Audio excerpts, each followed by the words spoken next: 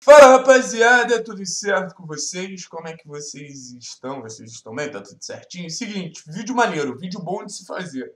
Vídeo de notícia boa. Eric, depois de algum tempinho aí parado por causa de lesão, está voltando aos treinamentos. A gente ainda tem dois jogos na temporada. Provavelmente vai ficar ali à disposição contra Grêmio Esporte, ou pelo menos contra o Esporte mas com essa volta do Eric, com esse retorno do Eric aos treinamentos e tal, o pessoal já me pergunta: Tiago, onde o Eric entra? Tiago, o Eric é titular absoluto, né?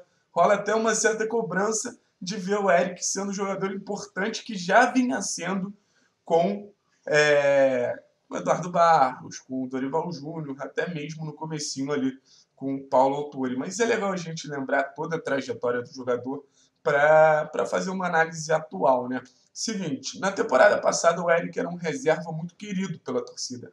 Muita gente sempre pedia, pô, mas oportunidade por Eric, não escala o Lúcio, escala o Eric. Vai ser tranquilo substituir o Bruno Guimarães, porque a gente tem o Eric, e o Eric sempre se mostrou um jogador muito disciplinado que aguardaria o seu momento. Não era um cara que postava hashtag no Twitter, foi um cara ali que soube aguardar o momento de virar um jogador muito importante. Ele acabou se tornando um jogador muito importante, mas não, ele não é o substituto ideal para o Bruno Guimarães, porque são jogadores de características diferentes. Por muito tempo se insistiu no Eric ali como cara para controlar o meio-campo, para dominar as ações do setor mais importante do jogo do Atlético. Mas não foi isso que ele conseguiu, é, não foi assim que ele conseguiu dar uma resposta positiva. Ele deu uma resposta positiva primeiro no Paranaense como lateral, onde ele levou o desempenho do lado direito ali de uma maneira exponencial. Marquinhos Gabriel começou a jogar melhor, Nicão começou a jogar melhor. A gente tinha um lado direito muito forte por causa do Eric. Quando o Eric não jogava, parecia que faltava uma peça ali, o time estava encaixadinho. E no Campeonato Brasileiro, o Eric viveu bons momentos ali na Libertadores quando o esquema mudou quando a gente já não precisava ter tanto esse ritmista, esse cara de controle de jogo. Quando a gente abandonou o jogo posicional e começou a fazer um jogo de transição, porque são essas as características do Eric. Força física, capacidade de chegar na área, capacidade de defender, de cobrir espaço, sabe?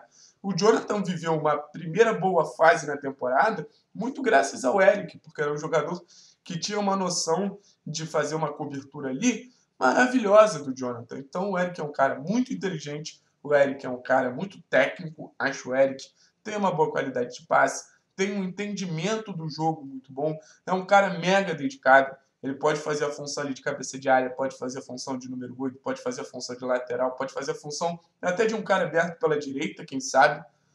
Mas é um cara que tem suas limitações e eu vou bater na tecla. Não é um cara para substituir o Bruno Guimarães. E a gente errou nessa avaliação. Em algum momento eu também achei o Eric está ali pronto para substituir o Bruno, mas não é assim. A gente não entendeu que são jogadores de características diferentes. E escalar Citadini e Eric por muito tempo juntos atrapalhou tanto Citadini quanto o Eric, porque são jogadores parecidos. assim. Enquanto o Atlético tentava ter o domínio, ser protagonista das partidas, não fazia o menor sentido ter os dois juntos. Mas o tempo passou, o Atlético entendeu qual era a melhor maneira de jogo dele. A gente joga em transição. O, o Eric foi um jogador que participou do começo dessa mudança, já com o Eduardo Barros, e se consolidou com o Autuori. Aí é o seguinte, vocês me perguntam, Eric titular absoluto? Menor dúvida. Eric no lugar do Richard, Eric no lugar de quem? Sabe? É seguinte, hoje o time titular do Atlético é basicamente Santos Jonathan, é, a dupla de zaga, que o Eric não entraria, lateral esquerdo Abner, aí na cabeça de área, que eu acho que são duas posições ali plausíveis para o Eric, tem Citadini e Richard. Então acho que o Eric concorre com o Jonathan, com o Citadini e com o Richard para entrar no time titular. Vamos falar primeiro como lateral. Muita gente não gosta da opção do Eric como lateral. Eu não acho tão ruim. Eu não sou um cara que descarto totalmente o Eric sendo lateral direito, porque dá mais segurança ao setor porque nosso lateral direito é um meio-campista, jogando com a bola. Hoje a gente vê o Jonathan, um cara que faz um meio-campo, claro, assim. Então, um cara que poderia dar qualidade à saída de bola. O lateral joga como um meio-campista quando tem a bola, então o Eric poderia fazer esse movimento que o Jonathan faz, daria mais qualidade ao setor, protegeria melhor e faria uma transição muito boa ali sendo um lateral também. Nos nossos piores momentos do Campeonato Brasileiro, o Eric jogou de lateral e jogou bem. Então, não vejo um absurdo o Eric sendo lateral direito, não. Mas também tenho a preferência pelo Eric no meio-campo. Acho que cabeça de área, a gente está vivendo uma fase de amor com o Richard, assim, e não abriria mão dessa fase de amor com o Richard, porque é um cara que dá uma segurança muito grande, às vezes virando até um terceiro zagueiro. Acho que o Richard tem um jogo aéreo bom, acho que o Richard protege a área muito bem, acho que o Richard é um cara que recupera muitas bolas por Atlético, e eu não abriria mão do Richard hoje. Ah, Thiago, mas você falou que ele era uma porcaria. Continuo achando ele uma porcaria tecnicamente, continuo achando um jogador que, por exemplo, eu não manteria no clube. Eu esperaria o desenvolvimento desse estilo de jogo do Atlético para ter um jogador mais técnico ali, que é o Cauã Gabriel. Acho que o Cauã vai se titular ali da posição para os próximos anos e, e faria essa transição na temporada 2021. Levaria a temporada já em vários momentos substituindo Richard pro Cauã, Richard pro Cauã, então não botaria o Eric ali sendo esse camisa 5. Mas sendo camisa 8, é uma posição que já me agrada mais, porque é o cara da transição, é o cara que protege o espaço, é o cara de chegada na área, e o Citadinho é um jogador que tem características muito parecidas com o do Eric, mas é um jogador que eu acho que ele sente falta ainda do arco, sabe? A gente sempre brincou que o Citadinho é a flecha, o Bruno era o arco. O Atlético aparentemente não vai ter esse arco. Então o Citadini é um jogador ali para entrar no segundo tempo, para quando o time adversário estiver mais cansado, o Citadini entrar, pressionar. A pressão do Cita é muito boa, assim como do Eric também.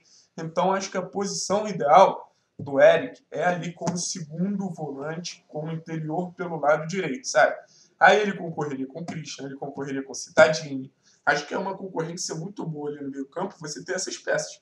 Citadini, Eric e Christian concorrendo ali, eu acho maravilhoso. Cauã e Richard concorrendo como primeiro volante, não tem muita resenha. É assim que eu enxergo o Eric. Mas em um primeiro momento, eu entendo ele ficar uns jogos no banco, eu entendo ele entrar de maneira calma na equipe, sabe? Até porque o Atlético está vivendo uma fase de um time certinho. O time certinho não se mexe.